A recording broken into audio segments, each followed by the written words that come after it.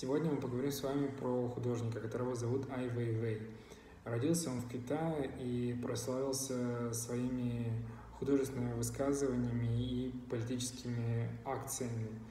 Он родился в семье поэта, его отец был диссидентом, был создан в сельскую местность без права занятия интеллектуальной деятельностью.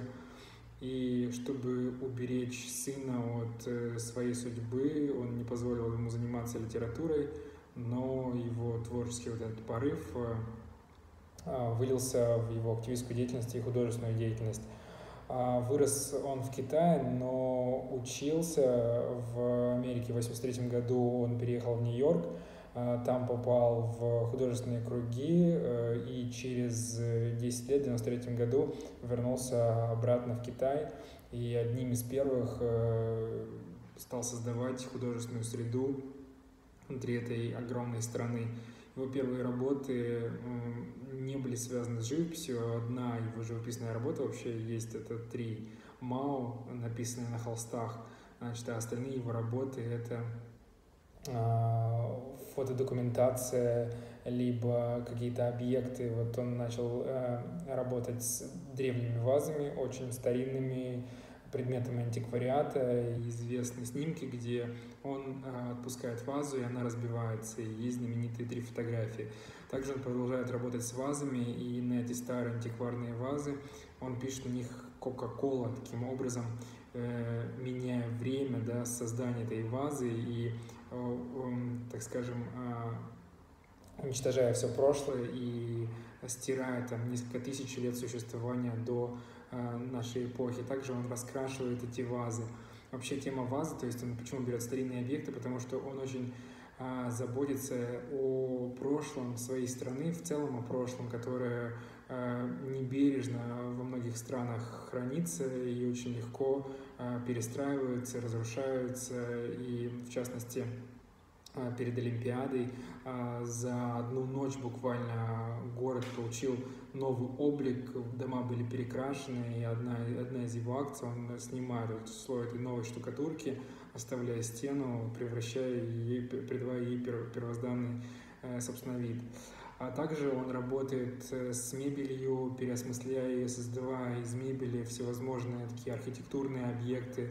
Также велосипед является популярным средством передвижения в Китае, и Ай Вейвей делает скульптуры из этих велосипедов. А, в частности, один из таких э, огромных, э, огромных архитектурных объектов был на Венецианской биеннале, некое такое облако, где даже велосипед сам по себе издалека теряется, превращается в какие-то такие пру... Э, скульптуру из э, белых прутьев. А, и, безусловно, наверное, самым его известным произведением является 100 миллионов семечек подсолнуха, которые были сделаны из керамики. Над этим проектом работало несколько тысяч человек, занимались тем, что, собственно, расписывали, чтобы эти э, семечки были похожи на настоящие семечки. И отчасти это, во-первых, колоссальный труд, а во-вторых, это некая отсылка к цитатам Мао, который говорил о том, что нация должна быть как семечки подсолнуха, единая и тянуться к солнцу.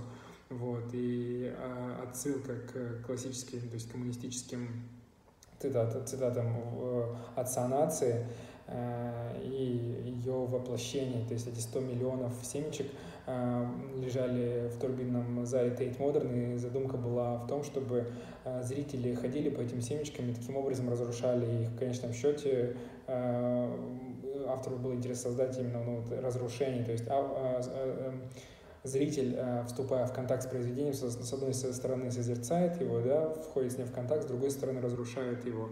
Но в конечном счете запретили ходить по этим семечкам, потому что оказалось, что керамическая пыль, она поднималась и была достаточно опасна для организма человека. А вообще АйВВ и его политические взгляды, они часто расходились с генеральной линией коммунистической партии, и за это он много раз сталкивался с правоохранительными органами своей страны, а, и до сих пор, то есть проблемы не исчерпаны, постоянная конфронтация ведет к тому, что система старается всячески э, заглушить э, и уничтожить э, точку зрения противоположную от государственной.